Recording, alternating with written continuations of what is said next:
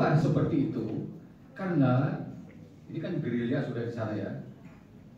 Yang itu karenanya seperti saya katakan tadi di dalam pengalaman TNI menumpas RMS Opera Permesta PRRI DITI dulu itu selalu tidak selesai dengan tentang uh, apa namanya uh, NKRI Pancasila dan lain sebagainya itu yang dimaksud apa itu tidak bertentangan di Timur Timur itu jaringan transportasi jalan ke mana-mana dibangun oleh Pak Harto jembatan dan lain sebagainya dibangun.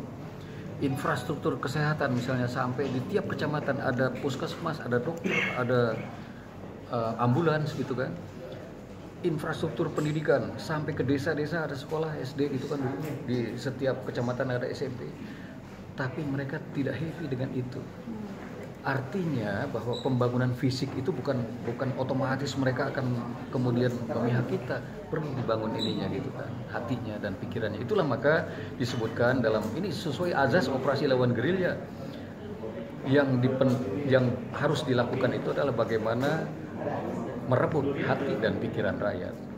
Ini bukan soal satu dua tahun. Ini soal dekade itu kan? Jadi kalau sekarang dilakukan upaya-upaya itu lewat pembangunan karakter tentunya ya. Anak-anak kecil yang harus diselamatkan. Kalau yang sekarang sudah dewasa mungkin agak susah ya. Tapi anak-anak Papua harus diselamatkan. Pembangunan karakter mulai dari sejak usia dini. Dan ini kalau sudah dilakukan sekarang dengan benar hasilnya 20-25 tahun yang akan datang baru bisa kita lihat gitu kan. Nah jadi uh, itu yang harus dilakukan oleh pemerintah sekarang dalam rangka merebut hati dan pikiran rakyat itu. Thank you.